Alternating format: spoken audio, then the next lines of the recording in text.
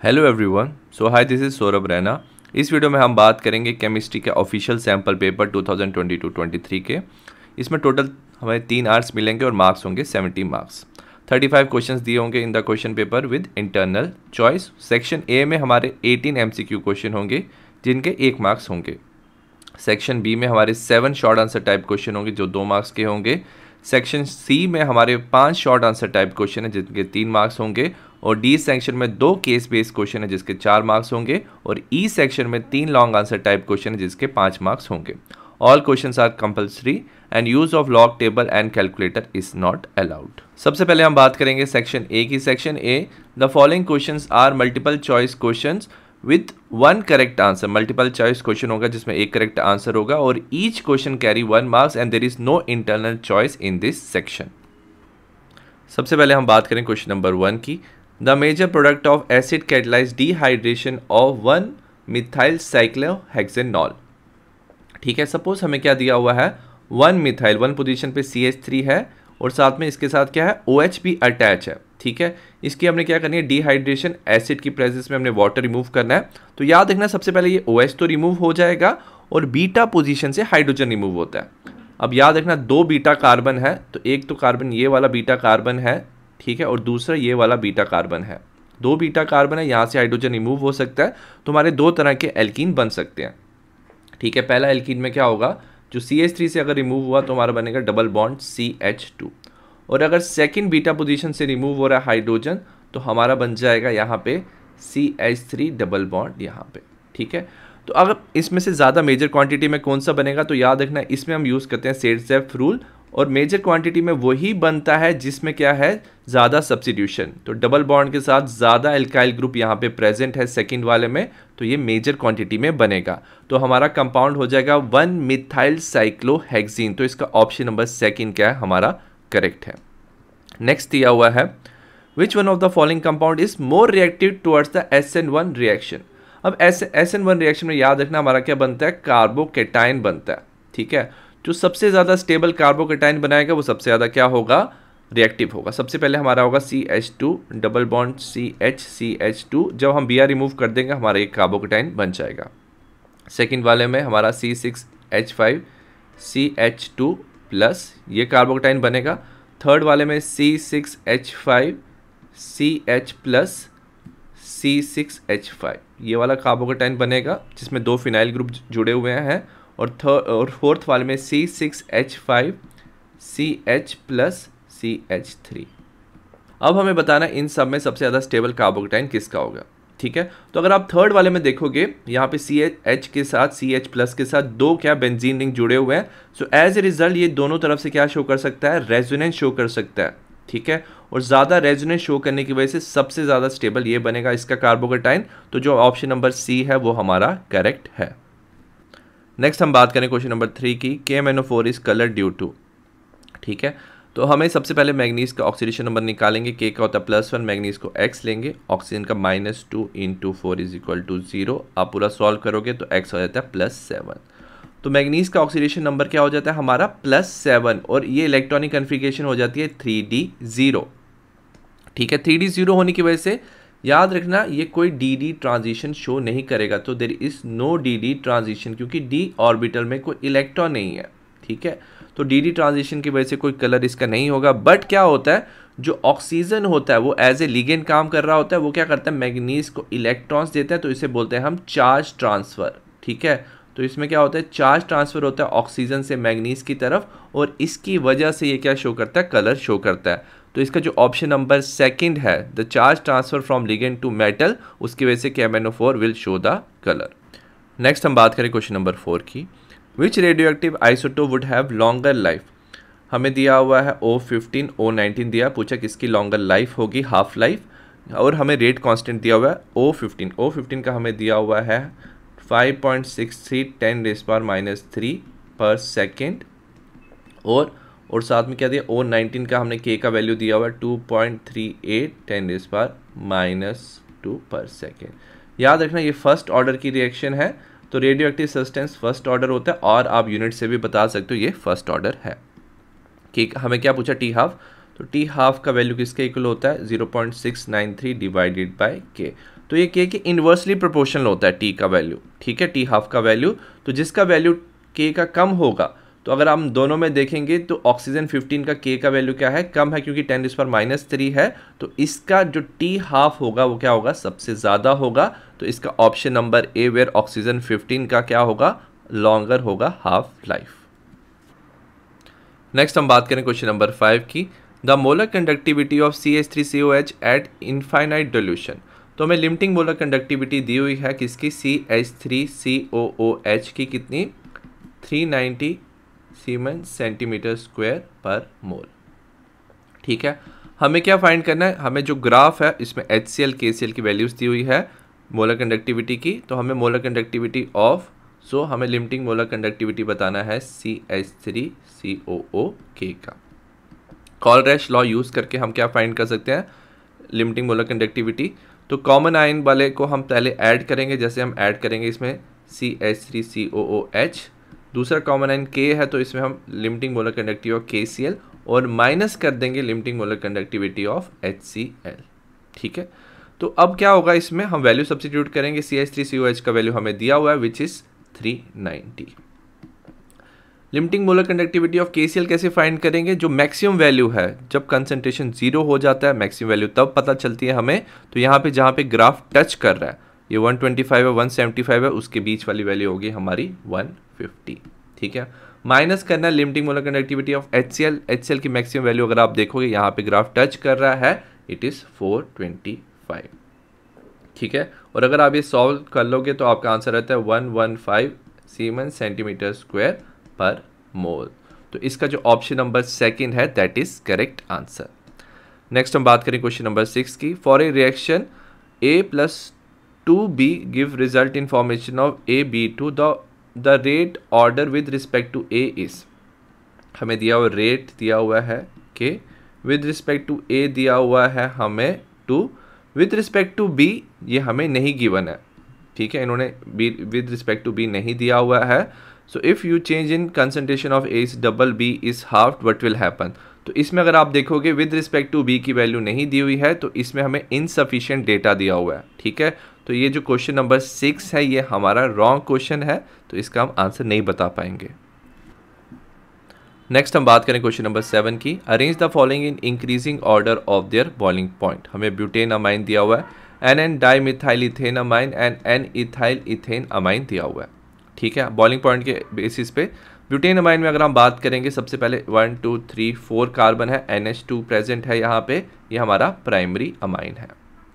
Second हमें दिया N N dimethyl ethane amine इसमें क्या है? दो कार्बन जुड़े हैं नाइट्रोजन के साथ और एक तरफ़ C H two C H two C H three ठीक है? ये हमें टर्शरी अमाइन दिया हुआ है। ये था हमारा, ये हमारा ए है, ये हमारा बी है। सी हमें दिया हुआ है एन इथाइल इथेन अमाइन मतलब एन एच के साथ दो कार्बन इस तरफ़, दो कार्बन इस तरफ़ सेकेंडरी अमाइन है। ठीक है? अब इनमें इंपॉर्टेंट चीज़ याद रखना, जो प्राइमरी होते हैं, उसमें अगर आप देखो नाइट्रोजन के साथ दो हाइड्रोजन है तो इसमें सबसे ज़्यादा हाइड्रोजन बॉन्डिंग होती है। ठीक है? तो आपस में हाइड्रोजन बॉन्ड सबसे ज़्यादा बनते हैं। उसके बाद आता है सेकेंडरी में, क्योंकि इसमें एक हाइड्रोजन होता है टर्शरी में कोई हाइड्रोजन बॉन्डिंग नहीं होती है। So as a result primary का सबसे ज़्यादा बॉइलिंग पॉइंट होगा जो ए है, उसके बाद होगा सेकेंडरी का, जो हमारा सी है, और लास्ट में आ जाएगा हमारा बी विच इज़ टर्शरी तो आंसर हो जाएगा बी सी ए तो इसका ऑप्शन नंबर डी करेक्ट है। नेक्स्ट हम बात करें क्वेश्चन नंबर एट की। The C F S C of C O C L six three negative is eighteen thousand per centimetre C F F C दिया हुआ है हमें। और याद रखना, ये हमारा कौन सा कॉम्प्लेक्स है? ऑक्टाहिड्रल कॉम्प्लेक्स है। ठीक है? हमें बताना है C F S C of C O C L four negative अगर आप देखोगे, इसमें मेटल और लिगेंड सेम है। और ये हमारा क्या बन गया है? टेट्राहिड्रल कॉम्प्लेक्स ठीक है?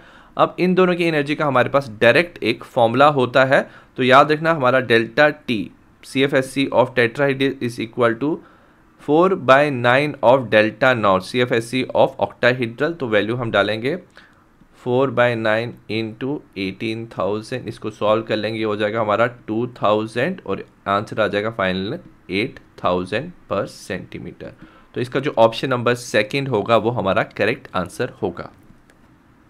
नेक्स्ट हम बात करें क्वेश्चन नंबर नाइन की। What would be the major product for the following reaction हमें दिया हुआ है C six H five C H two O C six H five H B R के साथ हमने रिएक्ट किया। ठीक है? इसमें क्या होता है? न्यूक्लियोफाइल का अटैक होता है। जो बी आर है, वो क्या करता है? कार्बन पे उसको अटैक करना है। बट क्या होता है? सी सिक्स एच फाइव में क्या होता है? जो ऑक्सीजन है, इस पर लोन पेयर ऑफ़ इलेक्ट्रॉन्स होते हैं। सी सिक्स एच फाइव के साथ ये रेजोनेंस कर सकता है। यहाँ पे आ जाता है हमारा पार्शियल डबल बॉन्ड ठीक है? सो एज ए रिज़ल्ट ये ऑक्सीजन कार्बन का बॉन्ड ब्रेक नहीं हो सकता है। So B R will get attach to this carbon यहाँ पे क्या? सिंगल ऑक्सीजन कार्बन का बॉन्ड है। कोई रेजोनेंस नहीं है। ये बॉन्ड ब्रेक करेगा। बी आर इसके साथ जुड़ जाएगा। हमारा बनेगा C six C H two B R एक कंपाउंड ये बनेगा। और जो H प्लस होगा, वो जुड़ जाएगा हमारा C six H five O के साथ। तो हमारा बन जाएगा C six H five O H जो बन जाएगा फिनॉल तो अगर आप देखोगे इसका जो ऑप्शन नंबर हमारा डी है that is correct answer next हम बात करें क्वेश्चन नंबर टेन की which of the following statement is not correct for the amines mostly alkyl amine are more basic than the ammonia solution ये correct है. Suppose आपके पास R N H two है, ठीक है, आपने अमोनिया के साथ कंपेयर किया, जो आर है वो इलेक्ट्रॉन डोनेट करता है नाइट्रोजन की तरफ़ इलेक्ट्रॉन डेंसिटी इंक्रीज करता है सो एज ए रिज़ल्ट वो ज़्यादा बेसिक होगा, ये करेक्ट है. P K B value of ethane amine is lower than the benzyl amine ये भी करेक्ट है। अगर हमें दिया C H three C H two N H two ये क्या है हमारा इथेन अमाइन और अगर हमने इसे कंपेयर किया है बेंजाइल अमाइन के साथ which is C H two N H two ठीक है? याद रखना, यहाँ पे इथाइल ग्रुप क्या होता है? इलेक्ट्रॉन डोनेटिंग ग्रुप होता है प्लस आई इफ़ेक्ट ये शो करता है। ठीक है? वेयर एज जो बेंजीन है, वो माइनस आई इफ़ेक्ट शो करता है। सो एज ए रिज़ल्ट जो इथेन अमाइन है, ज़्यादा बेसिक होता है, और पी के बी वैल्यू उसकी क्या होती है, कम। तो याद रखना पी के बी वैल्यू जो होती है इन्वर्सली प्रोपोर्शन होता है बेसिसिटी के। और हमें थर्ड क्या दिया हुआ है? हमें दिया हुआ है C H three N H two इसको हमने अगर nitrous acid H N O two के साथ रिएक्ट किया तो याद रखना, हमारा बनता है alcohol C H three O H plus nitrogen gas release होती है यहाँ पे not N O two gas तो इसका ऑप्शन नंबर सी क्या है? हमारा करेक्ट आंसर है। So following statement is not correct next हम बात करें क्वेश्चन नंबर इलेवन की which of the following test is given by aldehyde as well as ketone Fehling test याद रखना एल्डिहाइड देता है टॉलिंग टेस्ट भी एल्डिहाइड देता है। कैनिजरो टेस्ट जो रिएक्शन है, वो एल्डिहाइड देते हैं with no alpha hydrogen whereas two four D N P जो टेस्ट होता है, वो एल्डिहाइड और कीटोन दोनों देते हैं तो इसका जो ऑप्शन नंबर थ्री है, वो हमारा करेक्ट आंसर है। नेक्स्ट हम बात करें क्वेश्चन नंबर ट्वेल्व की। Arrhenius equation can be represented graphically as follows ठीक है, हमें आर एन एस इक्वेशन दिया ग्राफिकली ठीक है, हमें बताना है इसमें इंटरसेप्ट एंड स्लोप क्या। तो सबसे पहले हमें पता होना चाहिए, जो के होता है that is equal to E minus A by R T अगर आप दोनों तरफ़ लॉग लगा दो तो होता है एल एन ऑफ़ के हम इसे ऐसे लिख सकते हैं minus of E A by R T plus L N of A ठीक है तो इसे हम स्ट्रेट लाइन की फॉर्म में लिख सकते हैं Y equal to M X plus C ठीक है, इसका ग्राफ बनाते हैं। तो जो y एक्सिस है, वो क्या हमारा एल एन है और x एक्सिस है हमारा वन बाय टी अगर आप स्लोप देखोगे, ये क्या डाउनवर्ड स्लोप है? ये होता है minus of E A by R और जो इंटरसेप्ट होता है, वो होता है हमारा एल एन ऑफ़ ए ठीक है?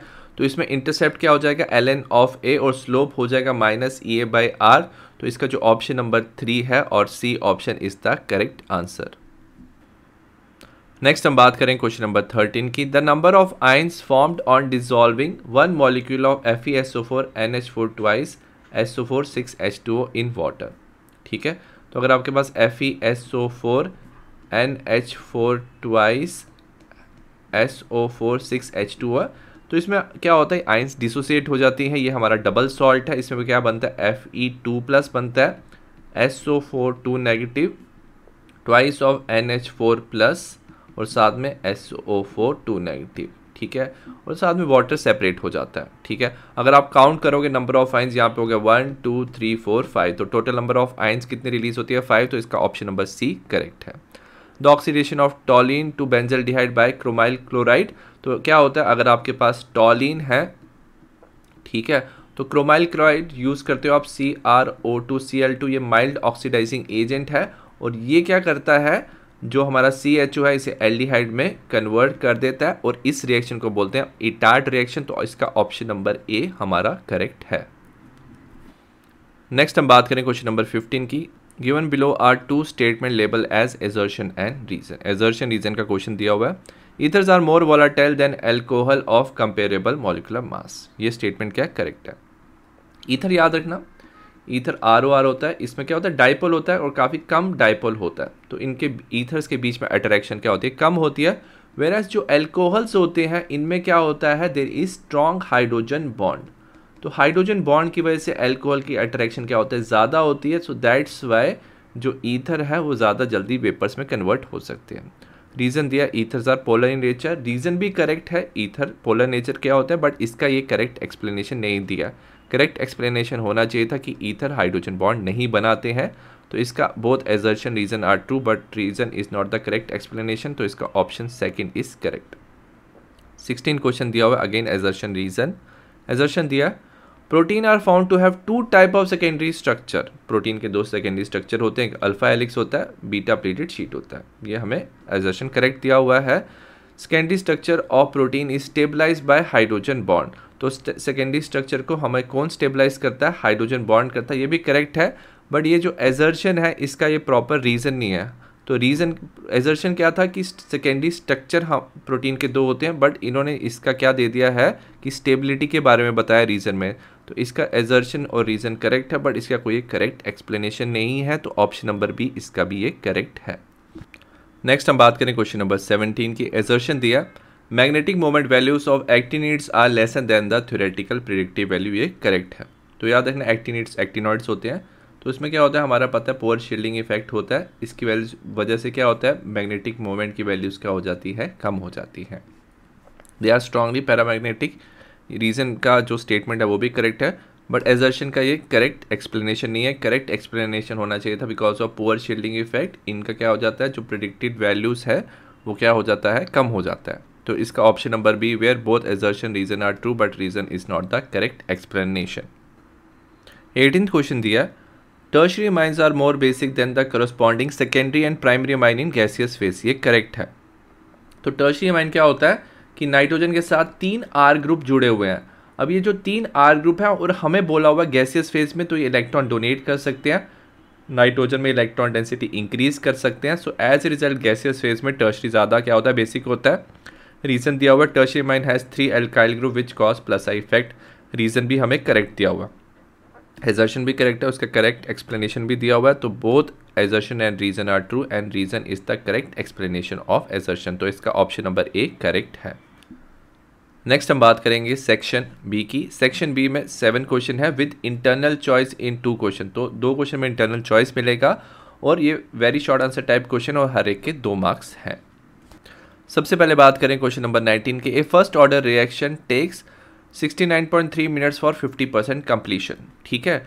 तो मतलब जो हमें टी हाफ़ है ऑलरेडी दे चुके हैं ये, कितना है? 69.3 मिनट्स, ठीक है? 59 percent completion what is the time needed for the 80 percent of the reaction to be completed ठीक है?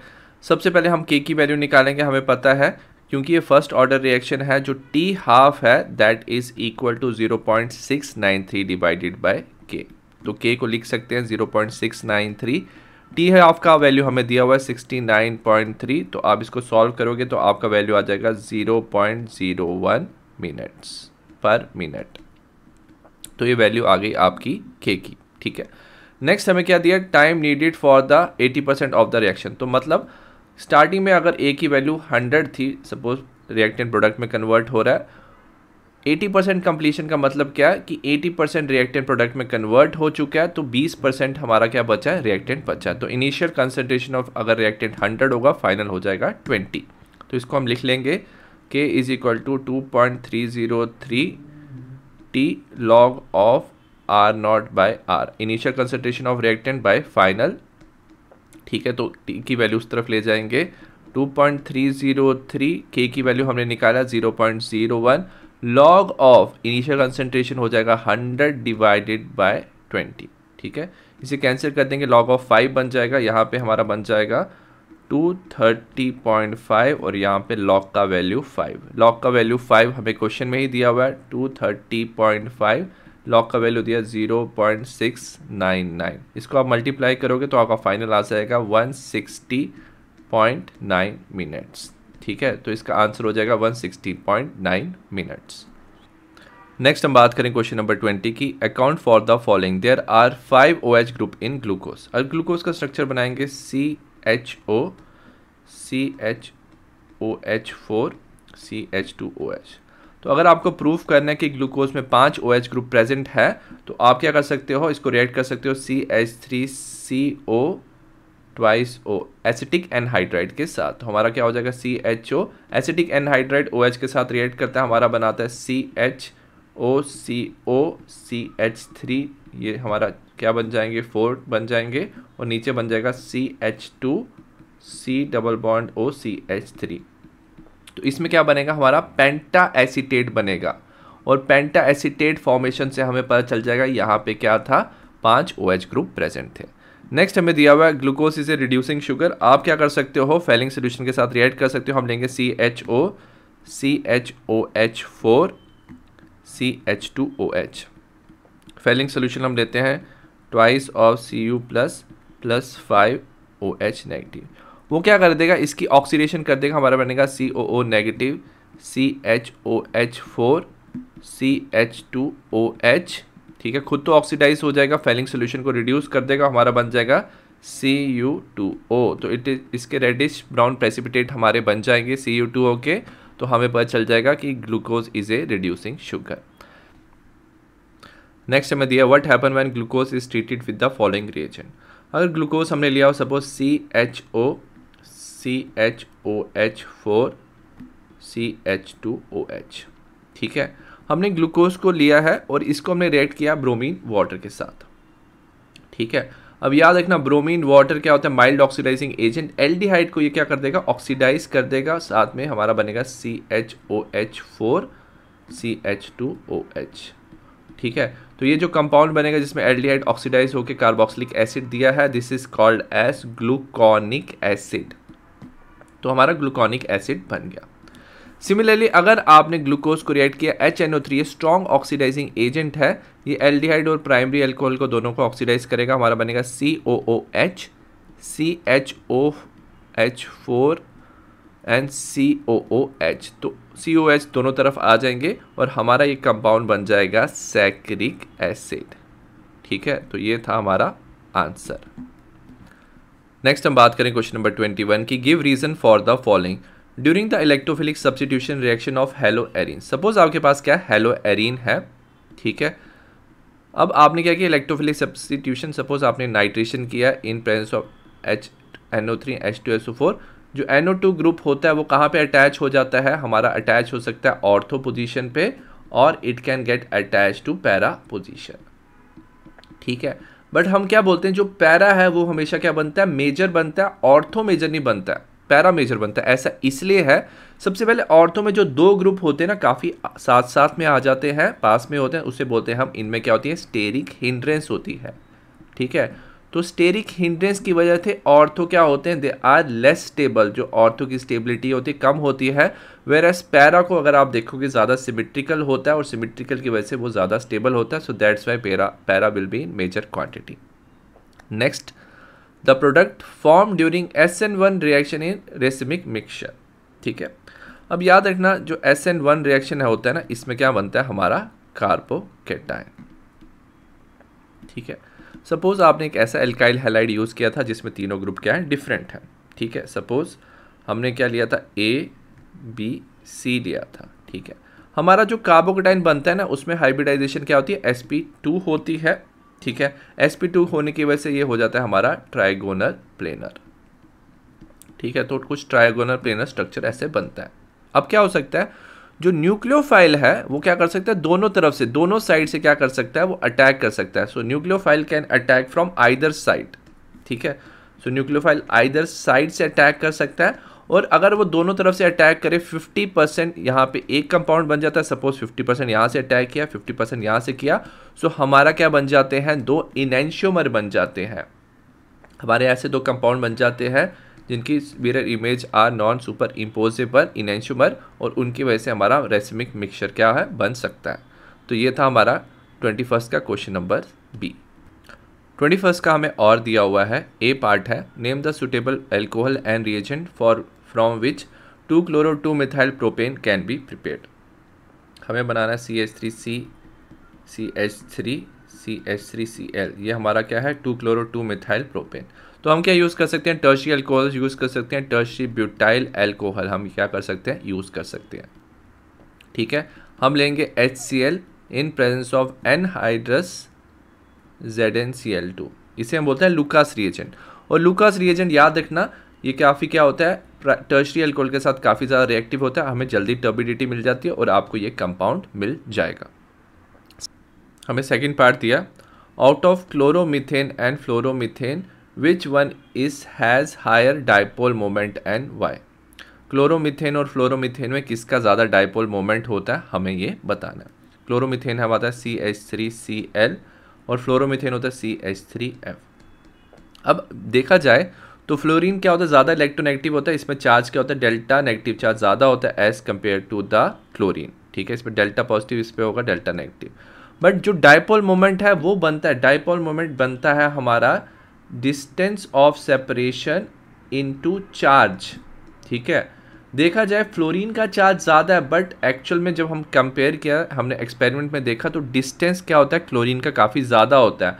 तो दोनों को जब हमने मल्टीप्लाई किया तो हमने चेक किया कि जो क्लोरोमीथेन होता है, इसमें ओवरऑल डाइपोल क्या होता है, वो क्या होता है? ज़्यादा मिला है। क्योंकि इसका जो डिस्टेंस होता है, वो काफ़ी ज़्यादा होता है। तो out of chloromethane and fluoromethane chloromethane has the higher dipole next हम बात करें क्वेश्चन नंबर ट्वेंटी सेकेंड की। The formula of C O N H three five C O thrice C L could be represented in the form of carbonate and chloride write the structure and name of possible isomers chloride की form में हम इसको कैसे represent करते हैं?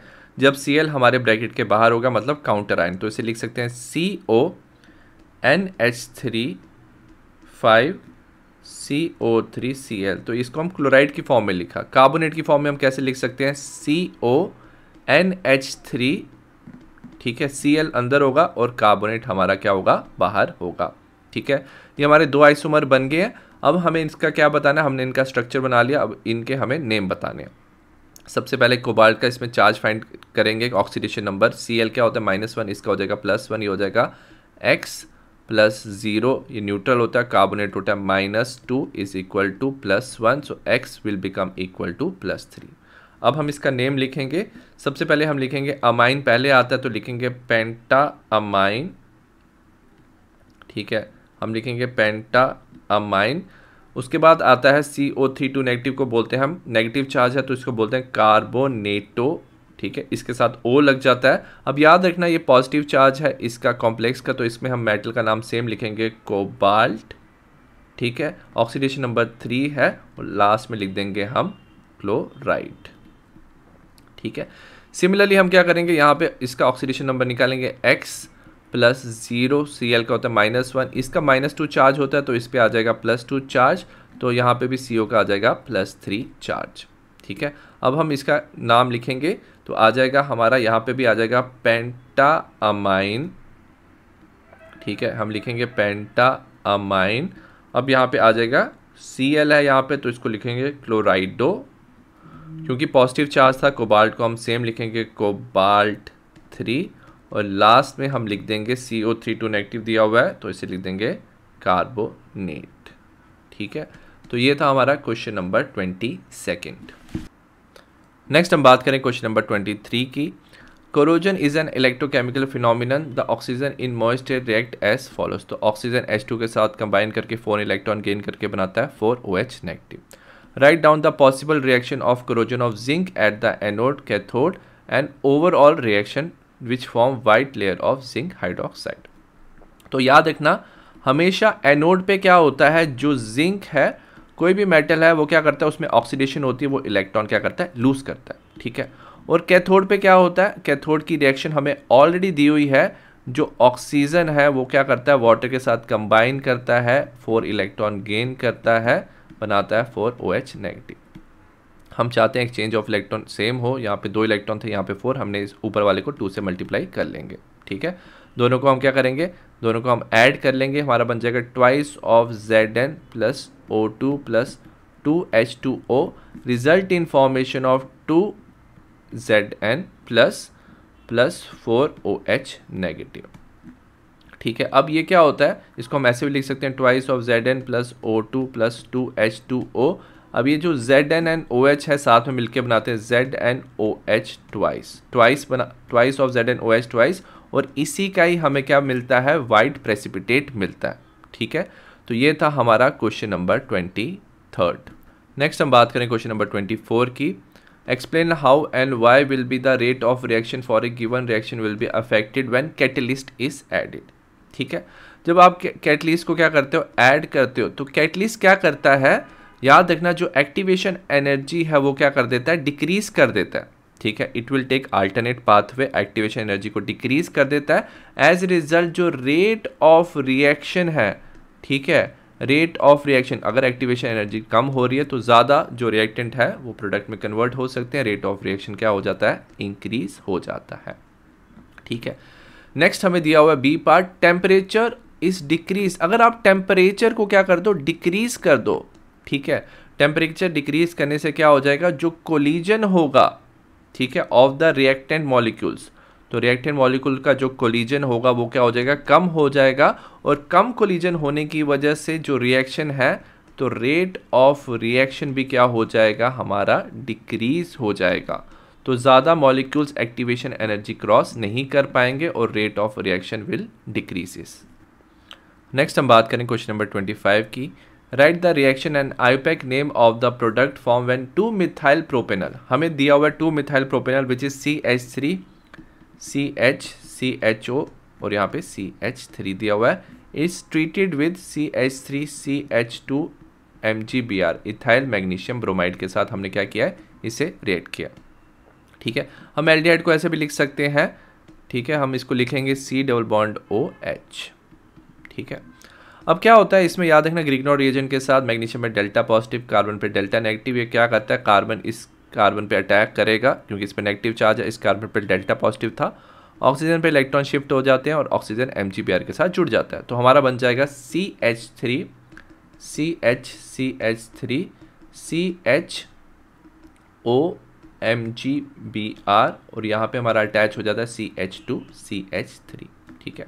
Hydrolysis करते हैं हम जब, ठीक है? तो क्या होता है? ओ की जगह ओ के साथ हाइड्रोजन जुड़ जाता है। हमारा बनता है सी एच थ्री आप ऐसे लिख सकते हो C H C H two C H three and O H ठीक है? ये आपका कंपाउंड बन गया। दोनों तरफ़ से ओ को सेम नंबरिंग मिल रही है। थर्ड तो हम यहाँ से नंबरिंग शुरू करेंगे। One two three four five ठीक है? तो इस कंपाउंड का नाम हो जाएगा टू मिथाइल सेकेंड पोजिशन पे क्या है? मिथाइल ग्रुप है। नंबर ऑफ़ कार्बन अगर आप देखोगे पाँच है तो हो जाएगा पेंट एन थर्ड पोजीशन पे ऑल है अल्कोहल है तो थ्री ऑल तो हमारा कंपाउंड बन जाएगा two methyl pentane three ol next हम बात करेंगे सेक्शन सी की. This section contain five question with internal choice in two question तो इसमें पाँच क्वेश्चन होंगे, दो क्वेश्चन में इंटरनल चॉइस मिलेगा. The following question are short answer type तो शॉर्ट आंसर टाइप क्वेश्चन है and each carry three marks each next हम बात करें क्वेश्चन नंबर ट्वेंटी सिक्स की. Write the equation for the following reaction salicylic acid is treated with acetic anhydride in presence of concentrated H two S O four हमारे पास salicylic acid है. इसमें क्या होता है? बेंजीन पे सी ओ एच ग्रुप होता है और एक तरफ़ ऑर्थो पोजिशन पे ओ एच ग्रुप होता है. इसे बोलते हैं ऑर्थो हाइड्रोक्सी बेंजोइक एसिड ठीक है?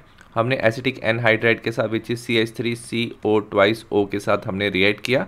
तो इसमें क्या होता है? एसिटाइलेशन ये जो ग्रुप होता है C H three C O group ये ओ एच के साथ रिएक्ट करता है, इसमें यहाँ पे जुड़ जाता है। इसको हम एसिटाइलेशन कहते हैं, ठीक है? तो C O H group same रहता है और यहाँ पे बन जाता है हमारा O C double bond O C H three ठीक है? तो ये जो कंपाउंड बनता है, इसे बोलते हैं हम acetyl salicylic acid cylic acid और also this compound is called as aspirin ठीक है? इसे एस्प्रिन भी कहते हैं, जो मेडिसिन में यूज़ होता है। बी पार्ट है हमारा tertiary butyl chloride is treated with sodium ethoxide ठीक है? हम सोडियम इथॉक्साइड लेंगे which is C two H five O N A और हमने इसे रिएक्ट किया टर्शी ब्यूटाइल क्लोराइड के साथ। ठीक है? अब इसमें क्या होता है? हमारा सी टू एच फाइव जो ओ नेगेटिव है, ठीक है? ये क्या करता है, ये कार्बन पे अटैक करना चाहता है बट यहाँ पे क्या होता है, जो C H three C H three C H three और सी एल ग्रुप है, ये इलेक्ट्रॉन रिच ग्रुप होते हैं, ये C two H five O को रिपेल कर देते हैं। सो एज ए रिज़ल्ट ये बेस की तरह काम करता है और ये क्या करता है सी एच थ्री में से एक हाइड्रोजन अपनी तरफ़ रिमूव कर देता है, ठीक है? सो बेस की तरह काम करता है, हमारा बनता है C two H five O H यहाँ से हाइड्रोजन रिमूव हो जाता है। एज ए रिज़ल्ट क्या होता है इलेक्ट्रॉन यहाँ पे शिफ्ट हो जाते हैं और यहाँ से क्लोरीन रिमूव हो जाता है। हमारा बनता है C H three C double bond C H two C H three, ठीक है? तो इसमें हमारा एल्कीन बन जाता है plus N A C L is release ठीक है? तो नॉर्मली ये रिएक्शन हम ईथर में यूज़ करते हैं बट अगर आपको ईथर बनाना है इस रिएक्शन से तो आपको एल्काइल हेलाइड लेना चाहिए प्राइमरी बट अगर आप सेकेंडरी या टर्शरी एल्काइल हेलाइड लेते हो तो आपका एल्कीन बन जाता है, ठीक है? नेक्स्ट हमारा क्वेश्चन है phenol is treated with chloroform in presence of N ठीक है? हमने क्या लिया? फिनॉल लिया हुआ है और हम रिएक्ट कर रहे हैं chloroform which is C H C L three plus N H के साथ। ठीक है? तो याद रखना, ये जो रिएक्शन होती है, इसे बोलते हैं राइमन टाइमन रिएक्शन और इसमें क्या होता है? जो ओ OH है, वो तो रहता है but C H O group ortho position में अटैच हो जाता है और हमारा बन जाता है सेलिसल एल्डिहाइड ठीक है? तो इसमें सेलिसल एल्डिहाइड बनता है और इस रिएक्शन को हम राइमर टाइमर रिएक्शन कहते हैं। नेक्स्ट हम बात करें क्वेश्चन नंबर ट्वेंटी सेवन की। Using valence bond theory explain the following in relation to the paramagnetic complex M N C N six three negative तो हमें बताइए एक पैरामैग्नेटिक कॉम्प्लेक्स है, इसके हमें हाइब्रिडाइजेशन मैग्नेटिक मोमेंट और हमें बताना है टाइप ऑफ़ कॉम्प्लेक्स क्या बनेगा इनर या ऑटर ऑर्बिटल कॉम्प्लेक्स सबसे पहले एम की इलेक्ट्रॉनिक कन्फिग्रेशन होती है हमारी। Three D five four S two ठीक है? अब क्या होता है? इसका हम ऑक्सीडेशन नंबर निकालेंगे। एम एन को एक्स लेंगे सी एन का माइनस वन होता है minus one into six is equal to minus three so x is equal to plus three तो एम एन क्या हमारा प्लस थ्री ठीक है? और प्लस थ्री हो जाएगा हमारा थ्री डी फोर ठीक है? इसको बॉक्स की फॉर्म में लिख सकते हैं। ठीक है? वन टू थ्री फोर ये हो जाएगा थ्री डी ऑर्बिटल फिर उसके साथ आता है four S and four P ठीक है? नंबर ऑफ़ इलेक्ट्रॉन्स कितने हैं इसमें? चार हैं तो ऐसे बना देंगे वन टू थ्री फोर अब याद रखना यहाँ पे क्या होता है? जो सी एन है, ठीक है? जो सी एन लिगेंट है, इट्स ए स्ट्रॉन्ग लिगेंट वो क्या करता है? इलेक्ट्रॉन का रिपल्शन करता है तो इलेक्ट्रॉन एक तरफ़ क्या हो जाते हैं? शिफ्ट हो जाते हैं तो इसको हम ऐसे बनाएँगे one two three four five ठीक है? इसमें क्या हो जाएगा कि जो दो इलेक्ट्रॉन है, वो एक तरफ़ आ जाएँगे, दो इलेक्ट्रॉन की पेयरिंग और दो इलेक्ट्रॉन अनपेयर्ड तो याद रखना कि एटलीस्ट जब हमारी हाइब्रिडाइजेशन होती है तो वो डी टू से शुरू होती है। डी थ्री से शुरू नहीं होती सो दैट्स वाई दो इलेक्ट्रॉन्स क्या रहेंगे? अनपेयर्ड रहेंगे। ठीक है? अब हम क्या करेंगे? इसकी हम इलेक्ट्रॉन की फिलिंग करेंगे तो याद रखना जो सी एन है, वो इलेक्ट्रॉन डोनेट करेगा। तो वो डी के दो ऑर्बिटल यूज़ करेगा, एक एस के और तीन पी के ऑर्बिटल वो यूज़ करेगा। ठीक है? तो वहाँ पे वो क्या करेगा? इलेक्ट्रॉन डोनेट करेगा। One two three four five six तो सिक्स पेयर ऑफ़ इलेक्ट्रॉन क्योंकि सिक्स सी एन है और याद रखना यूनिडेंटेड होता है तो हमारी हाइब्रिडाइजेशन हो जाएगी D two S P three hybridization मिल गई हमें D two S P three और अगर हम बात करें डी में दो अनपेड इलेक्ट्रॉन हैं तो मैग्नेटिक मोमेंट निकाल सकते हैं। हमारा फॉर्मूला होता है under under root of n n plus two तो ये दो इलेक्ट्रॉन है, ये हो जाएगा टू टू प्लस टू तो इसे हम सॉल्व कर देंगे होगा रूट ऑफ़ एट ठीक है? तो स्क्वेयर रूट ऑफ़ एट है ये, और इसको सॉल्व कर देंगे तो आ जाएगा answer two point eight seven ठीक है? तो आंसर आ जाएगा two point eight seven Bohr magneton और अगर हम बात करेंगे तो इनर थ्री डी ऑर्बिटल हमारा यूज़ हो रहा है कॉम्प्लेक्स फॉर्मेशन में तो इसका हो जाएगा ये इनर ऑर्बिटल कॉम्प्लेक्स ठीक है? तो ये था हमारा question number twenty seven next हम बात करें क्वेश्चन नंबर ट्वेंटी एट की आंसर द फॉलोइंग क्वेश्चन हमें दिया state Henry's law Henry's law क्या बताता है हमें? Partial pressure of the gas above the liquid is directly proportional to the mole fraction of the gas in the solution और P is equal to K H into chi chi mole fraction होता है और के H होता है हमारा Henry's constant इसके साथ दिया explain why are the tanks used by scuba divers filled with air diluted with helium ठीक है? तो स्कूबा डाइवर्स के जो टैंक होते हैं, उसके क्या करते हैं हम? हीलियम से थोड़ा सा डाइल्यूट कर देते हैं। ऐसा क्यों करते हैं? सबसे पहले याद रखना, जैसे जो स्कूबा डाइवर्स होते हैं, जब वो अंडर वाटर जाते हैं, ठीक है? So when they go under water तो प्रेशर क्या हो जाता है? हाई हो जाता है। एज ए रिज़ल्ट जो नाइट्रोजन है, वो क्या होता है? ब्लड में डिज़ोल्व हो जाता है, ठीक है?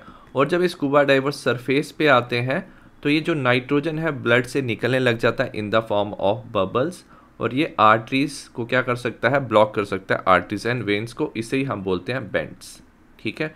तो बेंड्स को अवॉइड करने के लिए क्या करते हैं? नाइट्रोजन की जगह थोड़ा सा हम हीलियम यूज़ करते हैं ताकि जो हमारा नाइट्रोजन के बबल्स बने दैट विल बी लेस ठीक है? बी पार्ट दिया हुआ है। Assume that argon exert pressure partial pressure तो पार्शियल प्रेशर दिया हुआ है हमें सिक्स बार। हमें क्या बताना है? Calculate the solubility of argon in water solubility बतानी है और के का वैल्यू दिया हुआ हमें फोर्टी किलो बार। ठीक है? तो हम क्या करेंगे? ये किलो बार है, ये बार है, इसको हम इसको कर सकते हैं कन्वर्ट ये हो जाएगा ten raised power three bar ठीक है? तो partial pressure is equal to K H into mole fraction हमें क्या बात बताना है? इसमें सॉलिबिलिटी तो मोल फ्रैक्शन बताना है which is partial pressure divide by K H partial pressure है six divide by forty into ten raise power three तो आप इसको सॉल्व कर लोगे तो आपका आंसर आ जाएगा one point five into ten raise power minus four ठीक है? तो ये था हमारा question number twenty eight next हम बात करें क्वेश्चन नंबर ट्वेंटी नाइन की. Give reason for any three of the following observation हमें ए बी सी डी दिया हुआ है. इनमें से कोई तीन हमें करना है. सबसे पहले aniline is acid acetylated before nitration अगर हम बात करें एनेलिन की, अगर आपने इसकी नाइट्रेशन की ना तो आपको ऑर्थो पैरा मेटा तीनों प्रोडक्ट मिल जाते हैं. ठीक है? बट अगर हम चाहते हैं कि सिर्फ़ हमारा क्या बने? पैरा प्रोडक्ट बने तो हम क्या करते हैं, इसकी एसिटाइलेशन हम रिएक्ट करते हैं C H three C O twice O के साथ। तो हमारा बन जाता है यहाँ पे N H C O C H three acetyl group जुड़ जाता है और इसमें क्या होता है, याद रखना नाइट्रोजन के जो इलेक्ट्रॉन्स होते हैं ना, वो क्या करते हैं रेजोनेंस कर सकते हैं CO के साथ, ठीक है? So as a result overall electron density benzene की तरफ़ कम हो जाती है और इसके बाद अगर आप क्या करो नाइट्रेशन करो एच एन ओ थ्री के साथ H two S O four में तो क्या होता है, जो एन ओ टू ग्रुप है, वो हमारा पैरा पोजिशन पे अटैच हो जाता है। ठीक है तो हमारा N O two group para position पे अटैच हो जाएगा और एंड में हाइड्रोलिसिस पे आपको क्या मिल जाएगा एनेलिन और पैरा पोजिशन पे आपका एनो टू ग्रुप आ जाएगा। ठीक है तो एसिटाइलेशन से हम कंट्रोल कर सकते हैं रिएक्शन को। बी पार्ट है हमारा P K B of aniline is lower than the meta nitro aniline ठीक है? अगर हम बात करें एनेलिन की, ठीक है, हमारा एन है, और साथ में हमने क्या लिया? मेटा नाइट्रो एनालिन तो एनालिन में मेटा पोजीशन पे NO2 ग्रुप जुड़ा हुआ है।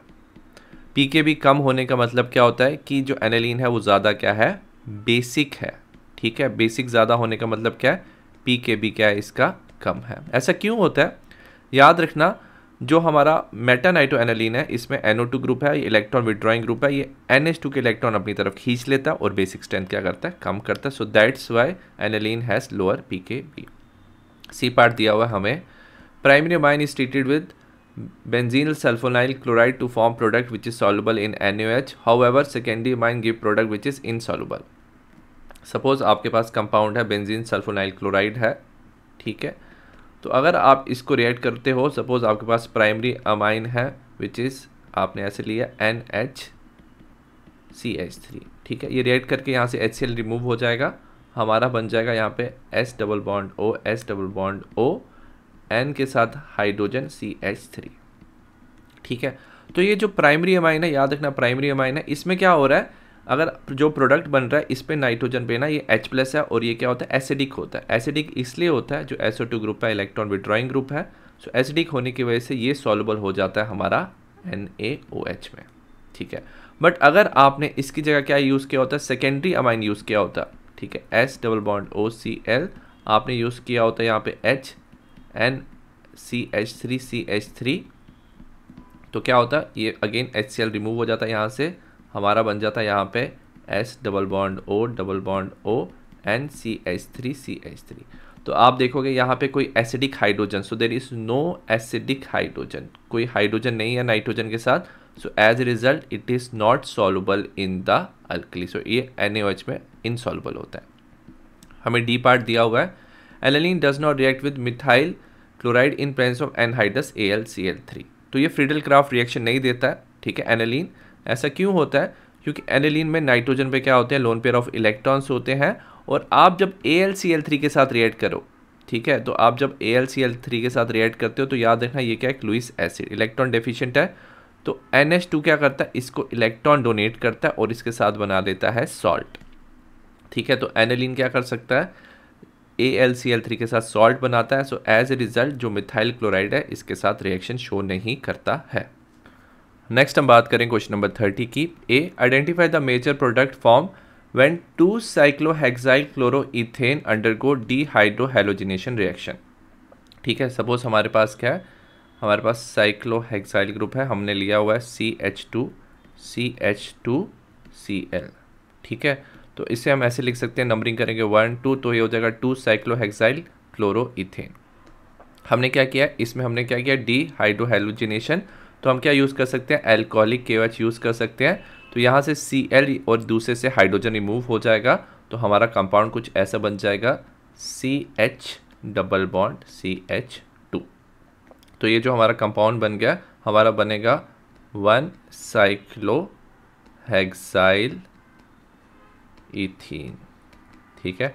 हम नंबरिंग कैसे करेंगे, हम नंबरिंग ऐसे करेंगे यहाँ से वन टू तो हमारा हो जाएगा वन साइक्लो हेक्साइल इथीन और रिएजेंट हमने यूज़ किया एल्कोहलिक के बी पार्ट है why are halo alkanes are more reactive towards nucleophilic substitution halo alkanes suppose हमारे पास आर एक्स है तो अगर आपने न्यूक्लियोफाइलिक सब्सिट्यूशन किया तो न्यूक्लियोफाइल क्या कर सकता है? ईजिली इस पर अटैक कर सकता है और आर के साथ हमारा न्यूक्लियोफाइल जुड़ सकता है.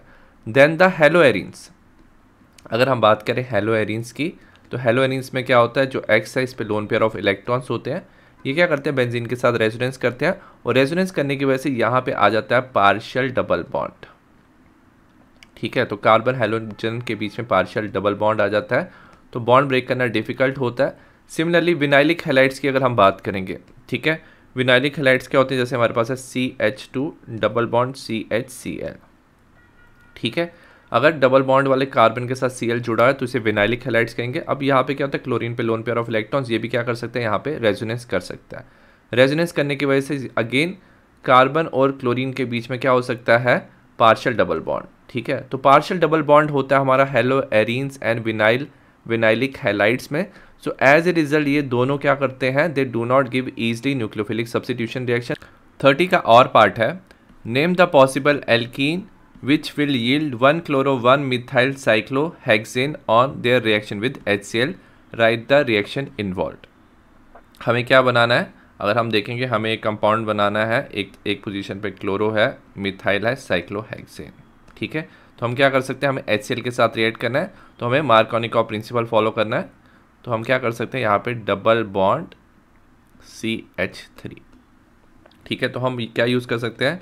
वन मिथाइल साइक्लोहेक्सीन ठीक है? आपने वन मिथाइल साइक्लोहेक्सीन यूज़ किया तो याद रखना सी उस कार्बन पे अटैक करता है which has less number of hydrogen तो इस कार्बन पे अगर आप देखोगे, चार बॉन्ड ऑलरेडी है तो यहाँ पे कोई हाइड्रोजन नहीं है। वेरस दिस कार्बन में तीन बॉन्ड है तो यहाँ पे एक हाइड्रोजन होगा तो सी एल यहाँ पे अटैक करेगा which has less number of hydrogen according to Markovnikov of principle और ये हमारा compound one chloro one methyl cyclohexane बन जाएगा।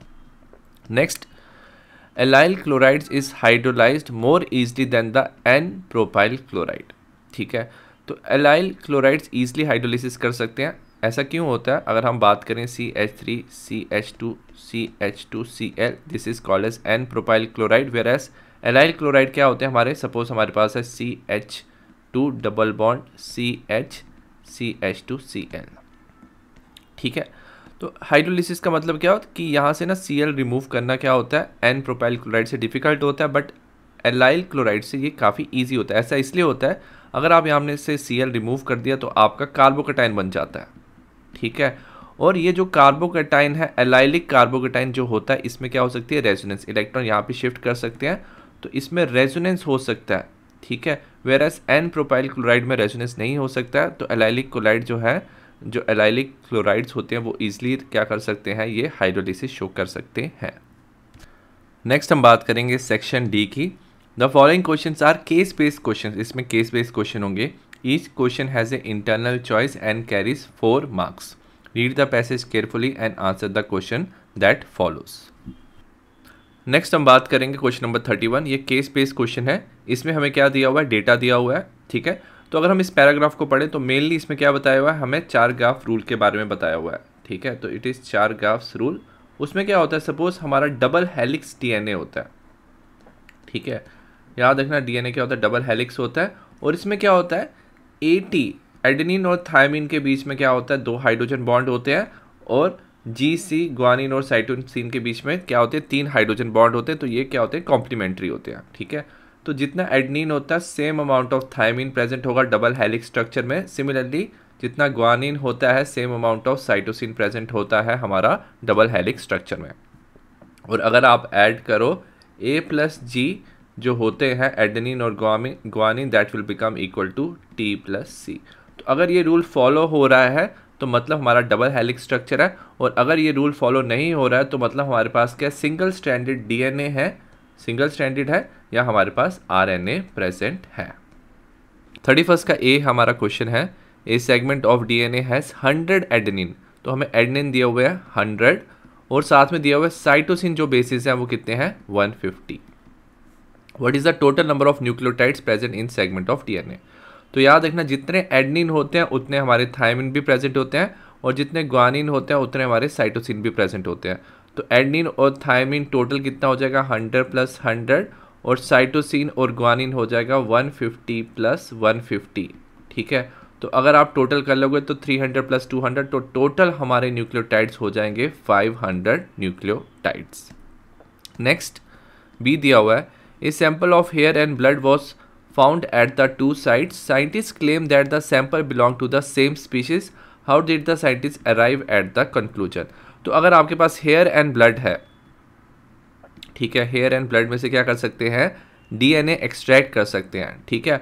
और डीएनए में जो सीक्वेंस है न्यूक्लियोटाइड्स की, ठीक है? अगर आप न्यूक्लियोटाइड की सीक्वेंस देख लोगे तो आप बता सकते हो कि ये सैंपल जो है, वो सेम स्पीशीज़ का है या नहीं है, ठीक है? तो न्यूक्लियोटाइड की सीक्वेंस से आप बता सकते हो दैट जो हेयर एंड ब्लड है it belong to same species और नॉट नेक्स्ट हम बात करेंगे सी पार्ट की. The sample of virus was tested and it found to contain twenty percent of adenine तो एडनिन कितना प्रेजेंट है?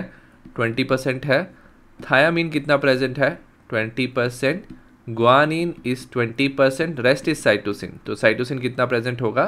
Forty percent is the genetic material of this virus is DNA double helix single helix और RNA ठीक है? तो हम चार graph rule की बात करेंगे। याद रखना, जितने एडनिन होते हैं, उतने थायमिन होते हैं और जितने ग्वानिन होते हैं, उतने साइटोसिन होते हैं, ठीक है? तो अगर हम बात करें A plus G should be equal to C plus T और T plus C A plus G की बात करेंगे तो ये कितना हो जाएगा? Twenty plus twenty, forty percent और ये हो जाएगा सिक्सटी परसेंट ठीक है? तो मतलब जब ये फॉलो नहीं होता है हमारा रूल तो मतलब ये डबल हेलिक स्ट्रक्चर नहीं है। तो this is not a double helix structure of DNA ठीक है?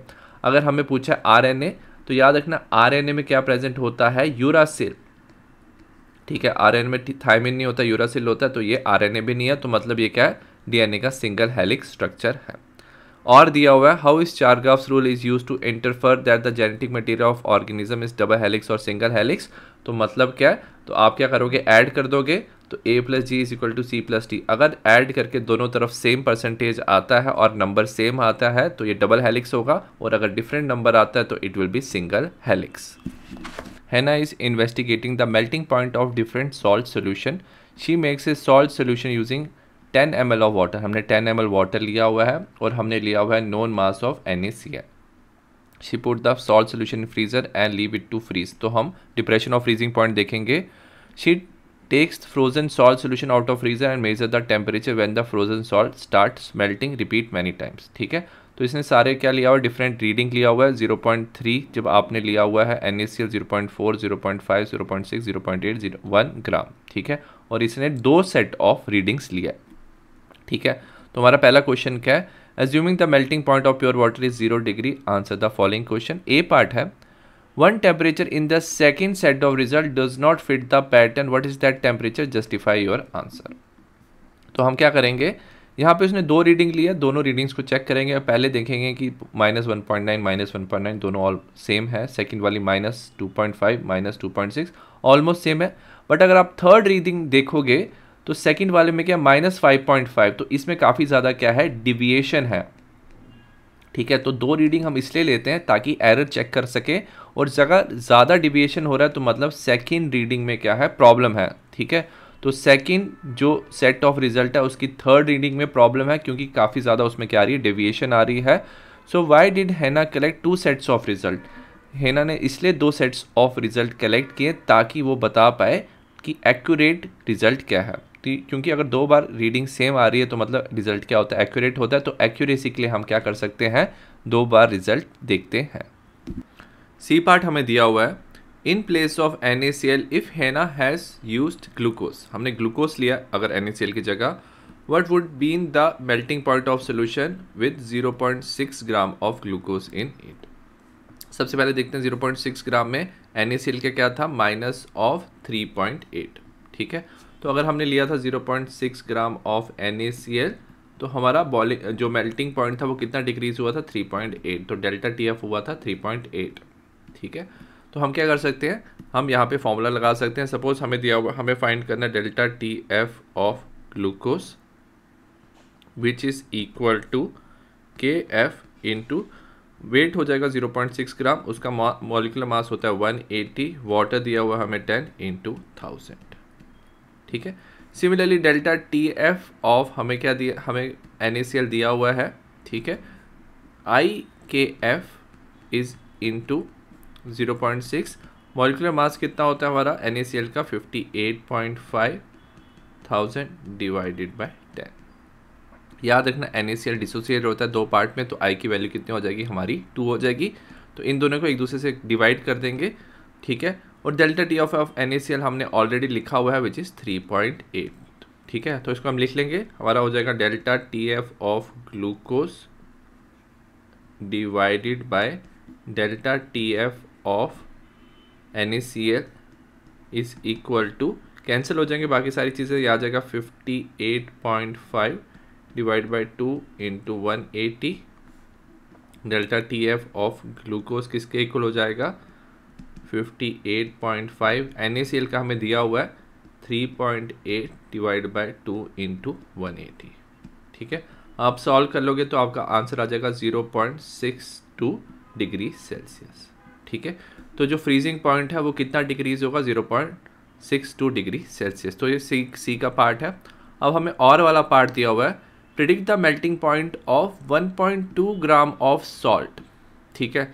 सॉल्ट हमें क्या दिया हुआ है? एन तो 2.1.2 ग्राम ऑफ़ सॉल्ट दिया हुआ है इन 10 एम ऑफ़ वाटर तो अगर हम रीडिंग देखें तो रीडिंग में क्या दिखता है हमें?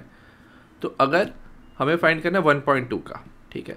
जब 0.3 था तो फ्रीजिंग पॉइंट कितना डिक्रीज हुआ था? हमारा 1.9 ठीक है? और अगर था 0.6 ग्राम एन था तो डिक्रीज कितना हुआ था? 3.8 मतलब क्या हो रहा है? डबल हो रहा है डिक्रीज और अगर हमने 1.2 ले लिया तो 3.8 से डिक्रीज हो जाएगा हमारा 7.7.6 डिग्री सेल्सियस। क्योंकि क्या हो रहा है, अगर आप देखोगे 0.3 से 0.6 में वन, माइनस वन से माइनस थ्री आ रहा है तो हमारा रीडिंग आ जाएगा माइनस सेवन पॉइंट सिक्स। तो इस फाइनल का आंसर आ जाएगा हमारा कि कि हमारा मेल्टिंग पॉइंट कितना डिक्रीज होगा और it will become minus of seven point six degree Celsius. तो ये इसका आंसर है। सेक्शन ई e है हमारा the following question are long answer type अब हम लॉन्ग आंसर टाइप क्वेश्चन करेंगे. टोटल तीन क्वेश्चन है. फाइव मार्क्स ईच और उसमें से दो क्वेश्चन में इंटरनल चॉइस होगा. नेक्स्ट हम बात करें क्वेश्चन नंबर थर्टी थ्री की.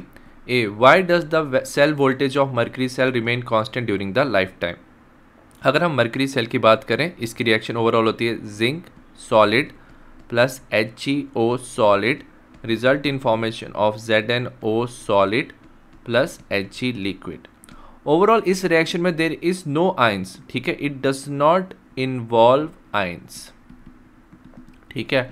और अगर आइंस इन्वॉल्व नहीं होती है और आइंस की कंसनट्रेशन चेंज नहीं होती है तो वोल्टेज क्या रहती है? कांस्टेंट तो याद रखना वोल्टेज तब चेंज होती है जब आइंस की कंसनट्रेशन रिएक्शन में चेंज होती है। तो यहाँ पे कोई इन आयंस इन्वॉल्व नहीं है, यहाँ पे सॉलिड और लिक्विड है।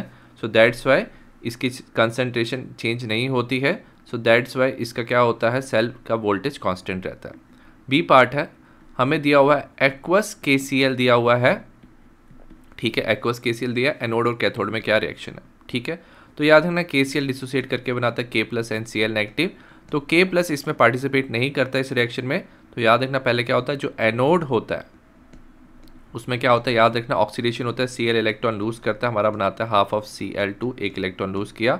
और कैथोड में क्या होता है, हमारा ऑक्सीडेशन क्योंकि एक्वस सोल्यूशन है तो क्या होता है वाटर क्या करता है इलेक्ट्रॉन गेन करता है result in formation of half H two plus O H negative दोनों को ऐड कर लेंगे। आप के को भी इंक्लूड कर सकते हो तो हम लिख लेंगे K C L plus H two O electron electron cancel हो जाएगा। Result in formation of K plus plus O H negative half of C L two plus half of H two ठीक है? तो ये हमारा रिएक्शन बन जाएगा। Thirty three का सी पार्ट दिया हुआ है। What is the P H of H C L solution when hydrogen gas electrode showed potential of minus of zero point five nine volts ठीक है? तो याद रखना, अगर रिएक्शन की बात करें तो क्या होता है? H plus gain one electron result in formation of half of H two और हाइड्रोजन इलेक्ट्रोड में जो गैस होती है, वो क्या होती है? वन बार होती है। ठीक है? तो हमें क्या दिया हुआ है? ई e ऑफ़ दिया हुआ है H plus two H two is equal to Nernst equation में E naught of H plus two H two minus of क्योंकि याद रखना स्टैंडर्ड कंडीशन होती है तो लिखते हैं zero point zero five nine log of ठीक है लॉग किसका लेंगे? एच टू गैस का raise to power half divided by H plus ठीक है, अब याद रखना ई ऑफ़ द हमें दिया हुआ है which is minus of zero point five nine और ई नॉट स्टैंडर्ड स्टेट में जब होता है तो इसका वैल्यू हमें पता है ज़ीरो होता है minus of zero point zero five nine N का वैल्यू कितना exchange of electron one electron गिरे हैं one log of pressure one bar होता है तो वन हो जाएगा डिवाइड बाय एच प्लस ठीक है? तो हम इसको उस तरफ़ ले जाएँगे तो हमारा ये बन जाएगा zero point zero five nine divide by zero point zero five is equal to log of one by H plus इसको ऐसे लिख लेंगे, ये हमारा टेन हो जाएगा इज़ इक्वल टू इसको अगर हम रिवर्स करना चाहें तो हम लिख सकते हैं minus log of H plus ठीक है? नीचे वैल्यू के ऊपर लाना तो आप माइनस लगा सकते हो। और हमें पता है minus log of H plus क्या होता है?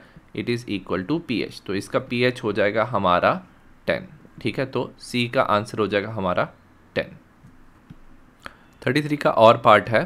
Molar conductivity of substance A is five point nine ten's power three B is one into ten's power minus sixteen which of the two is likely to be copper metal याद रखना, जो copper metal होता है, उसकी क्या होती है? ज़्यादा कंडक्टिविटी होती है। तो जो ए होगा ठीक है, जिसमें वैल्यू मोलर कंडक्टिविटी की ज़्यादा है that will be copper metal ठीक है, क्योंकि उसकी हाई वैल्यू ऑफ़ कंडक्टिविटी है। बी की क्वेश्चन दिया हुआ है what are the quantity of electricity in coulomb in coulombs required to produce 4.8 grams of magnesium from molten M हमें दिया हुआ एम तो मैग्नीशियम किसकी फॉर्म में रहता है? एम ठीक है मैग्नीशियम दो इलेक्ट्रॉन गेन करेगा तो हमारा बनाएगा एम ठीक है, और याद रखना जब हमें one mole of magnesium deposit करना तो आपको टू फेराडे ऑफ़ इलेक्ट्रिसिटी चाहिए ताकि वन मोल डिपॉजिट हो जाए।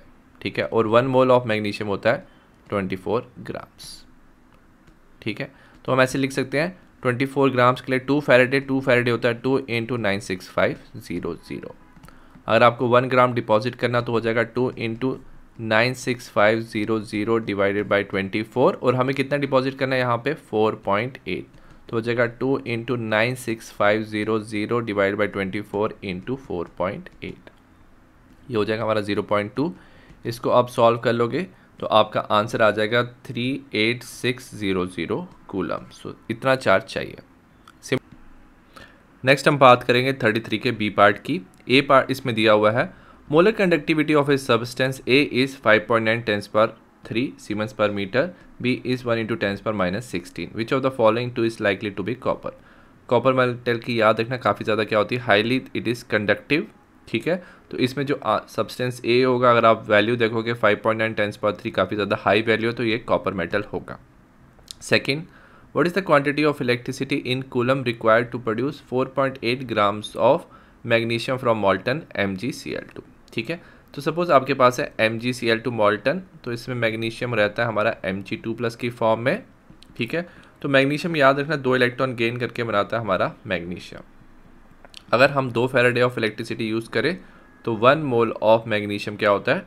डिपॉजिट होता है, ठीक है? वन मोल ऑफ़ मैग्नीशियम कितना होता है? ट्वेंटी फोर ग्राम्स तो ट्वेंटी फोर में टू फेराडे इलेक्ट्रिसिटी और फेराडे कितना होता है? Nine six five zero zero ठीक है? वन ग्राम के लिए हमें चाहिए two into nine six five zero zero divided twenty four और हमें कितना दिया हुआ है क्वेश्चन में? 4.8 ग्राम्स के लिए तो two into nine six five zero zero divide by twenty four into four point eight ठीक है? ये आप क्वेश्चन सॉल्व कर लोगे तो आपका आंसर आ जाएगा three eight six zero zero coulombs तो ये इसका वैल्यू होगा। नेक्स्ट इसका पार्ट दिया।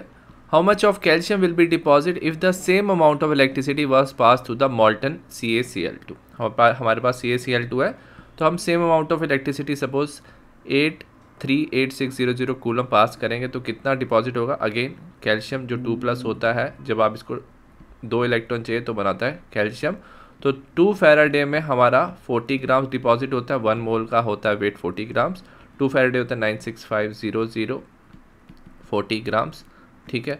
वन फेराडे में कितना डिपॉजिट वन कूलम में कितना डिपॉजिट हो जाएगा ये? Forty divided by two nine six five zero zero और अगर हमें three eight six zero zero में डिपॉजिट करना है तो हो जाएगा forty into three eight six zero zero divide by two into nine six five zero zero.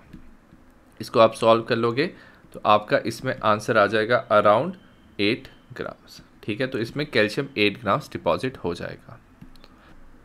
Next हम बात करेंगे सी पार्ट की। What is the standard free energy change for the following reaction at room temperature is the process spontaneous हमें बताना है free energy change मतलब delta G बताना है हमें। स्पॉन्टेनियस का मतलब वेदर रिएक्शन इज़ नेगेटिव और पॉजिटिव अगर डेल्टा जी नेगेटिव है तो स्पॉन्टेनियस होगा पॉजिटिव तो नॉन स्पॉन्टेनियस होगा। ठीक है? तो सबसे पहले हम क्या करेंगे? ये जो इक्वेशन है, ये हमारा S N plus twice of C two plus result in formation of S N two plus plus two C U plus याद रखना नॉर्मली वो ई नॉट की वैल्यू देते हैं, यहाँ पे वो मिस कर गए हैं बट ई नॉट की वैल्यू देते हैं। तो अगर हम बात करें एस एन टू प्लस जब दो इलेक्ट्रॉन गेन करता है, बनाता है एस एन और इसके ई नॉट की वैल्यू है minus of zero point one four volts similarly जो कॉपर टू प्लस है, एक इलेक्ट्रॉन गेन करता है तो हमारा बनाता है कॉपर प्लस और ई e, इसके ई नॉट की वैल्यू है ज़ीरो पॉइंट वन फाइव ठीक है? और याद रखना E naught of the cell होता है cathode minus E cathode minus E anode ठीक है?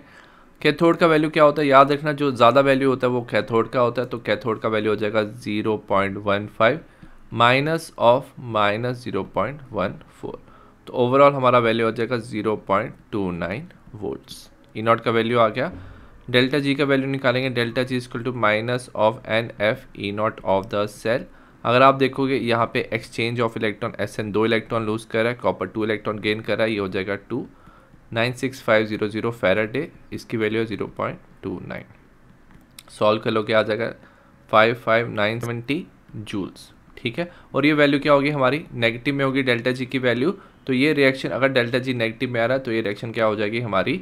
स्पॉन्टेनियस होगी। तो this reaction will be spontaneous next हम बात करें क्वेश्चन नंबर थर्टी फोर की A hydrocarbon A with molecular formula C five H ten on ozonolysis ozonolysis mostly alkene करते हैं और हमारे जो प्रोडक्ट बनते हैं वो हमारे बनते हैं एल्डिहाइड या कीटोन तो ए बी या सी एल्डिहाइड कीटोन होगा।